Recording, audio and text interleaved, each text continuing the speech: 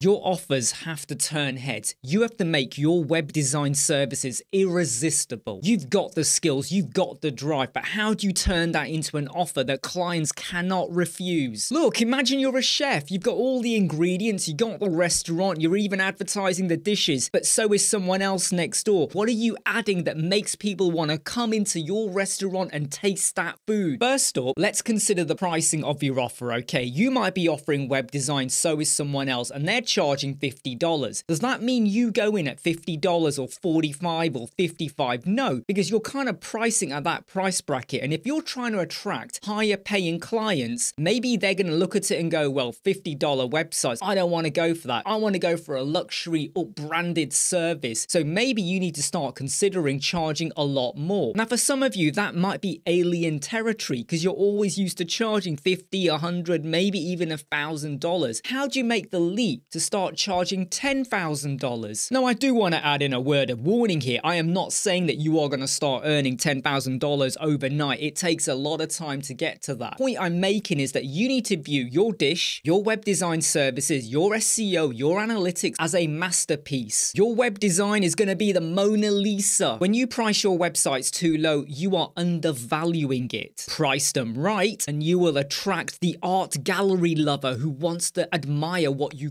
Yeah, I know it all sounds very superficial, right? Anyone could say this. Like, why are you even still watching this? Why do you even believe what I'm saying? Because this is the reality of where I was, okay, and where I started. 20 years ago, you're producing what you think will work, and you start to do it for a very minimal value. But then when you build the confidence and you start to believe in what you can do, you can either do 10 websites for $100 and make a thousand, or you can do 10 websites at $10,000 each. Okay, so you're gonna maximize your pricing a little bit, but how do you stand out against the millions of web designers out there? What makes you different? You could just call yourself a web designer, just like everybody else out there, or you become a go to expert. Can you show off how you've used your SEO skills to help other businesses? Can you show how you took a scribble or a Figma design, or maybe what restaurant owners or barbers and hairdressers, and how you took their idea and turned it into a thriving website? Can you demonstrate that? There's loads of people there that can play the guitar, but there's only going to be some that can lead a whole concert and festival. You need to be the leader. You need to headline the concert. Whatever area you decide to become the go to expert or the leader in, make sure you know it inside out. Read up about it, learn about it, find the pros and cons, make sure you can answer questions thrown at you. And when you are offering your web design services or what songs you're going to sing for them or what meals you're going to serve in the restaurant, make sure they are catchy and simple to understand.